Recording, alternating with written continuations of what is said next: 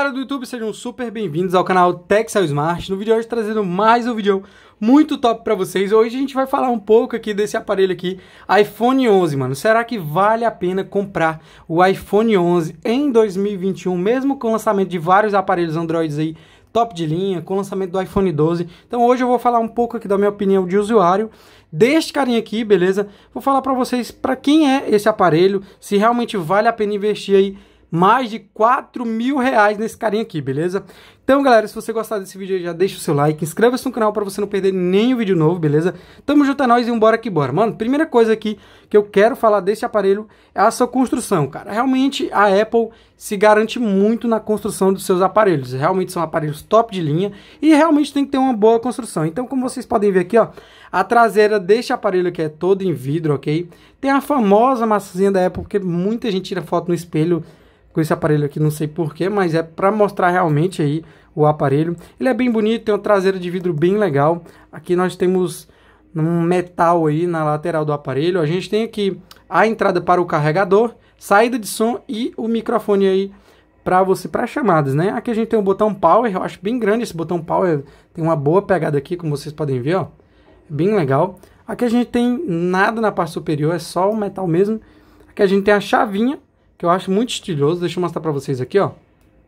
Aqui está normal e aqui está no modo silencioso. A gente tem os botões de volume e nada mais. Então assim, mano, esse aparelho aqui é um aparelho com um corpo realmente bem construído, tem um bom frame aí, você consegue pegar ele bem na mão, você acha bem gostoso de segurar esse aparelho. Ele tem uma tela de 6.1 polegadas, ok? É uma tela muito boa de você consumir mídias, conteúdos, não é uma tela muito pequena, mas também não é uma tela muito grande. Ele está aí proporcional, ok? Uma tela com 326 ppi de densidade, LCD, não é, infelizmente não é OLED ou AMOLED ou Super AMOLED. É uma tela LCD, mas é uma boa tela, tem bons ângulos de visão, como vocês podem ver. Ele se comporta bem na luz do sol, como vocês podem ver aqui, ó. A gente está bem no claro e realmente está se comportando muito bem. Então, assim, é uma boa tela. Outro ponto que eu gosto de falar demais do iPhone 11 e, e eu parabenizar Apple por conta disso, é de sua bateria, mano. Ele tem 3.110 mAh de bateria. Para quem usa Android, vai falar assim: ah, mano, é muito pouco. Mas não, tropa. Aqui dá para você utilizar esse aparelho aqui o dia inteiro tranquilamente, ok? Eu já utilizei esse aparelho aqui, já tive a oportunidade de estar utilizando e realmente é um aparelho que vai durar o dia inteiro, dependendo do seu uso. Eu vou falar aqui meu uso, mais ou menos pego o celular ali 7 da manhã, 6 e meia da manhã, vou responder a galera no Instagram, no e-mail, no YouTube também, vou assistir vídeos aí no YouTube. Ó, como vocês podem ver, aumentou mais aqui o brilho de luz, ó. E ainda manteve aqui um bom ângulo de visão, cara. Realmente sensacional isso aí. Vou responder o YouTube, às vezes jogo um Free Fire aqui nesse aparelho aqui, quando eu tava testando ele. Uso muito Instagram, rede social. Então, assim, a autonomia dele dá tranquilamente você chegar ali 7 horas da noite com 10%, 15%, 20% de carga, mais ou menos, porque ele fica, ele dura bem stand-by. Stand-by é quando o aparelho está com a tela desligada, ele dura muito bem mesmo, ok? Então, assim, deixa eu desbloquear aqui. Outra coisa que eu não sou muito fã é desse esse modo de desbloqueio, ok? Então, assim, galera, ele dura o dia inteiro tranquilamente. Eu só não gosto tanto da parte da tela também, é desse note, é muito grande esse note, ok? Mas realmente tem que abrigar aí os componentes aí para o desbloqueio facial, então eu não curto tanto, eu preferia que fosse aqui na tela, ou na lateral, ou aqui atrás, não sei, é, para realmente ter um leitor de impressão digital físico. Eu não gosto muito dessa, desse modo de desbloqueio, às vezes quando você está com máscara você tem que configurar e tudo mais, então eu não gosto tanto desse modo aqui. Prefiro mesmo aqui no toque, que fica bem mais legal. Mas enfim, o desempenho desse aparelho aqui, cara, para quem é gamer, para quem usa realmente conteúdo, criador de conteúdo, assim, eu acho que vale a pena você investir o seu dinheiro acima de 4 mil reais. A galera fala assim, meu Deus, muito dinheiro. Para quem é criador de conteúdo, galera, eu acho que vai valer a pena, porque para quem trabalha com Instagram, ele tem uma boa otimização, excelente otimização em câmeras, ok? Como vocês podem ver aqui, foi uma das melhores câmeras de smartphone que eu já utilizei até hoje deste carinha aqui, realmente é muito boa. Tem um bom ângulo de visão, tem uma boa qualidade de vídeo, cara. Esse, esse carinha aqui é sensacional para quem grava vídeo, ok? Então realmente ele é muito bom, tem uma boa qualidade de câmera. Essas duas câmeras traseiras aqui cumprem bem aí o seu objetivo, certo? Então para quem busca aí, quem é com criador de conteúdo digital, para quem é youtuber, eu acho que vale a pena você investir o seu dinheiro nesse carinha aqui. Agora sim, mano, se você não for criador de conteúdo de Instagram, youtuber, ou você vai só jogar mesmo, eu acho que tem outros aparelhos Androids aí, que ROG Phone, por exemplo, é um ótimo aparelho Android para jogar Free Fire, COD Mobile, PUBG. Então assim, mano, se você for um cara que é gamer, ok? Eu recomendo você pegar um ROG Phone ou um iPhone 8 Plus que não sai tão caro assim, entendeu, galera? Porque assim, mano, esse carinha aqui custa mais de 4 mil reais. Eu vou deixar os melhores links aí para vocês comprarem ele na descrição do vídeo, ok? Então assim, de modo geral, é um aparelho sensacional, tem boas câmeras. Se você quer utilizar para o Instagram, cara, esse aqui é um dos melhores, ok? Ele só vai perder mesmo pro iPhone 12, ok? Que realmente tá o olho da cara o iPhone 12, muito caro para você pagar aí no smartphone. Então assim, o iPhone 11 eu acho que ele é uma boa pedida sim para 2021. Se você comprar esse carinha aqui, você vai durar uns 5 anos tranquilamente com ele, dependendo do seu cuidado. Eu recomendo sempre você comprar uma capinha dessa aqui, aveludada por dentro, OK? Que vai proteger demais teu smartphone.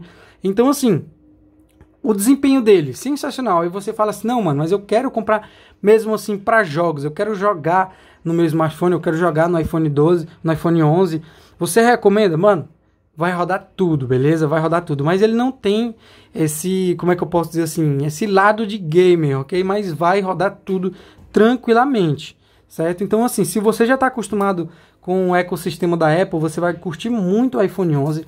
Você pegar ele, para mim, eu acho bem mais vantajoso do que você comprar um iPhone 12, ok? Você comprando o iPhone 11 aí, você vai estar satisfeito aí tranquilamente por uns 5 anos, tranquilo.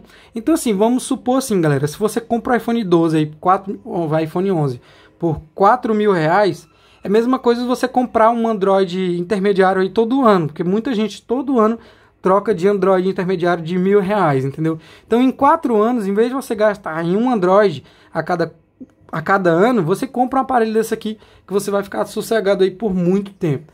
É claro que tem um ponto negativo que é a questão do valor, realmente é muito caro, mas se você é criador de conteúdo digital, se você trabalha com smartphone, eu acho super válido aí a compra desse carinha aqui. A Apple acertou na bateria dele, ele tem um bom conjunto de câmeras que vai dar para você utilizar aí nas suas redes sociais. Instagram, cara, a fluidez do Instagram aqui nesse aparelho é sensacional.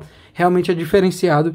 Para games, ele tem uma boa pegada para games. Para quem já viu aqui no canal logo, mas eu vou trazer um teste aí de Free Fire e outros jogos aí com o iPhone 11 para vocês verem que realmente é muito bom. Então a fluidez do sistema sempre está atualizado. Você vai ter um sistema que vai estar tá atualizado aí por uns 4 anos, 3 anos tranquilamente. Então, assim, de modo geral, para quem quer comprar, mano, tá aqui nesse vídeo querendo realmente comprar, saber se vale a pena. Na minha opinião, que eu utilizei esse aparelho, eu acho que sim vale a pena você investir o seu dinheiro se você for criar conteúdo com esse smartphone. Agora, se você for ter esse smartphone aqui só pra ter mesmo, mano, só pra ter mídia, tá ligado? Eu acho que, é, pode ser, você faz o que você quiser com seu dinheiro, tá ligado? Mas eu acho que não valeria tanto a pena, entende? Dava para você economizar o dinheiro, pegar aí um iPhone XR, outro aparelho aí Android que tem aí, por exemplo, um Android de 3 mil reais, um aparelho da linha Galaxy também, uma linha S, realmente sensacional, entende? Mas assim, se você for criar conteúdo, for trabalhar com Instagram, for trabalhar com mídias digitais, criar conteúdo para o YouTube, gravar vídeos, eu recomendo demais. É um ótimo aparelho, boa bateria, bom desempenho, bom tamanho de tela, é, o que mais?